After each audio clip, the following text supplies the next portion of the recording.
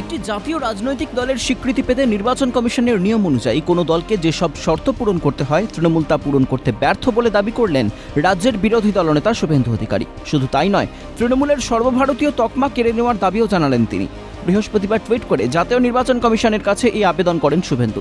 এছাড়াও, তৃণমূল কংগ্রেস সবচেয়ে দুর্নীতিগ্রস্ত আঞ্চলিক দল বলেও আক্রমণ শানিয়েছেন তিনি। টুইটারে জাতীয় দল হওয়ার নিয়মাবলী তুলে ধরে যুক্তি দেখিয়েছেন শুভেন্দু।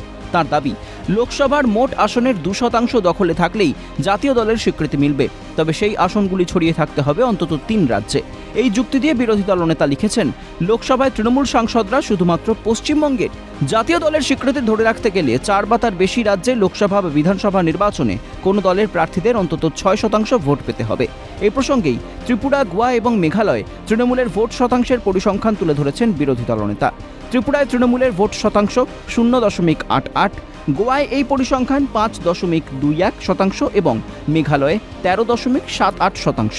শুভেন্দুর দাবি, জাতীয় দলের তকমা ধরে রাখতে হলে অন্তত চারটি রাজ্যে আঞ্চলিক দলের স্বীকৃতি পেতে হবে। এক্ষেত্রে পশ্চিমবঙ্গ এবং মেঘালয়ে তৃণমূলের বিধায়ক রয়েছে, তাই এই শর্তও পূরণ হয়নি বলে দাবি তাঁর।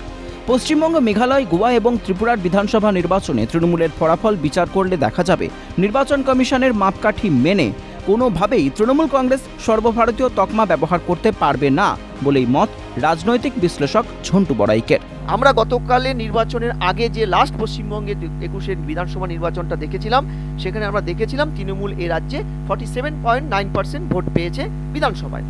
তারপরে গতকালের যে নির্বাচন, অতি সাম্প্রতিক যে নির্বাচনের ফল, তাতে আমরা দেখলাম মেঘালয়ে তারা পাঁচটি আসন পেয়েছে, মোট তাদের ভোট শতাংশ পনেরো শতাংশ। আর গোয়ায় তারা কোনো আসন পায়নি, তাদের ভোট শতাংশ ছিল five point two one percent আর ত্রিপুরাতে তারা তো নোটার সাথেই যুদ্ধ করলেন পয়েন্ট এইট পার্সেন্ট ভোট নিয়ে, কোনো সিট ছাড়া পয়েন্ট এইট পার্সেন্ট নোটার চেয়ে তো অনেকটাই কম। ফলে এই ধরনের জিনিসগুলোকে, এই ভোট পার্সেন্টেজগুলোকে সম্মিলিতভাবে যদি নিয়ে আমরা খাতা কলমে অঙ্ক কষতে বসি, তাহলে কিন্তু আমরা দেখব নির্বাচন কমিশনের, একদম নির্বাচন কমিশনের মাপকাঠি মেনে কোনোভাবেই তৃণমূল কংগ্রেস আর অল ইন্ডিয়া তকমাটি ব্যবহার করতে পারবে না। যদিও এ বিষয়ে তৃণমূল বিধায়ক তথা রাজ্যের মন্ত্রী ফিরাদ হাকিমের দাবি তিনের থেকে বেশি রাজ্যে তৃণমূলের অস্তিত্ব আছে। স্বাভাবিকভাবেই তৃণমূল সর্বভারতীয় দল অগণতান্ত্রিকভাবে নির্বাচন কমিশনকে চাপ দেওয়া হচ্ছে। এরা এখনও সেই মিথ থেকে বেরোতে পারছে না যে নির্বাচন কমিশনের ডিসিশন তৈরি করবে বিজেপি নেতারা। সেই জায়গাটা সেগুড়ে বালি করে দিয়েছে কালকে চিফ জাস্টিস সুতরাং নির্বাচন কমিশন নিরপেক্ষ হবে এবং নির্বাচন কমিশনকে নিশ্চিতভাবে আমাদের তিনটের থেকে বেশি স্টেটে অস্তিত্ব আছে, ন্যাচারালি আমরা অল ইন্ডিয়া পার্টি। আর এটা বিবে শুভেন্দু অধিকারী চিঠি দিলে তবে নির্বাচন কমিশন হবে, অর্থাৎ নির্বাচন কমিশনকে প্রেসারাইজ করা এটা অগণতান্ত্রিক। পাল্টা কটাক্ষ করতে ছাড়েনি বিরোধীরাও।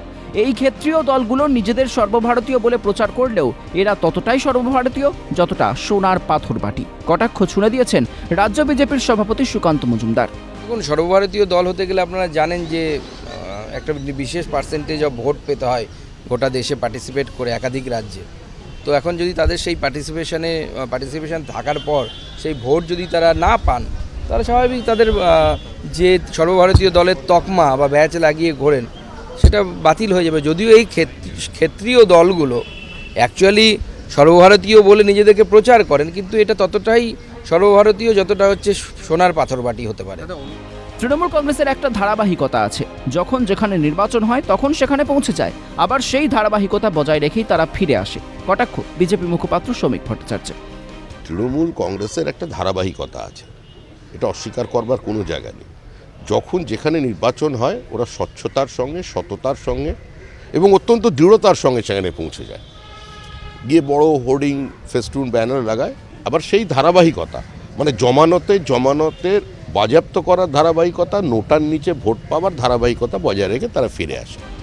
এমনও কারণ আছে যেখানে রাজনৈতিক দল হিসেবে তৃণমূল পরিচিতি পাবে কিনা, তা নিয়ে প্রশ্ন তোলা যায়। কটাক্ষ, কংগ্রেস মুখপাত্র কৌস্তব বাগচির। হ্যাঁ এটা সত্যি কথা। দেয়ার আর গ্রাউন্ড যেখানে ওদের ন্যাশনাল পার্টি স্ট্যাটাসটা চলে যাওয়ার মতন এরকম অনেক গ্রাউন্ড আছে। এমনও গ্রাউন্ড আছে যেখানে তৃণমূল কংগ্রেস দল হিসেবে তার মানে রেকগনাইজ পলিটিক্যাল পার্টি হিসেবে সে বাতিল হয়ে যাওয়ার জায়গা আছে। তো সেই ক্ষেত্রে এখন কি করবে নির্বাচন কমিশন তাদের ব্যাপার এখন এই দরখাস্তটা যেহেতু ন্যাশনাল স্ট্যাটাস কেড়ে নেওয়ার জন্য হয়েছে। সেটা অন মেরিট সেটা ট্রিট করবে, কিন্তু দেখুন, এটা তো তৃণমূল কংগ্রেস আজকে নিজেদেরকে অল ইন্ডিয়া তৃণমূল কংগ্রেস বলে বা ইন্টারন্যাশনাল তৃণমূল কংগ্রেস বলে পশ্চিমবঙ্গের বাইরে দলটার কোনো নেই সেখানে?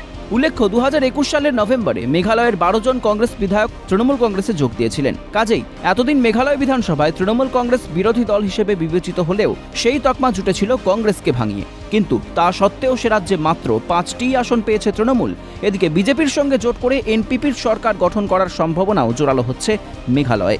বৃহস্পতিবারই ত্রিপুরায় শোচনীয় পরাজয়ের পর তা নিয়ে তৃণমূলকে কটাক্ষ করেছিলেন শুভেন্দু অধিকারী। এবার মেঘালয়ের ভোট পরবর্তী ঘটনা প্রবাহ শুভেন্দুর দাবিকে আরও জোরালো করছে বলেই মনে করছে রাজনৈতিক মহল। Bureau report Calcutta news.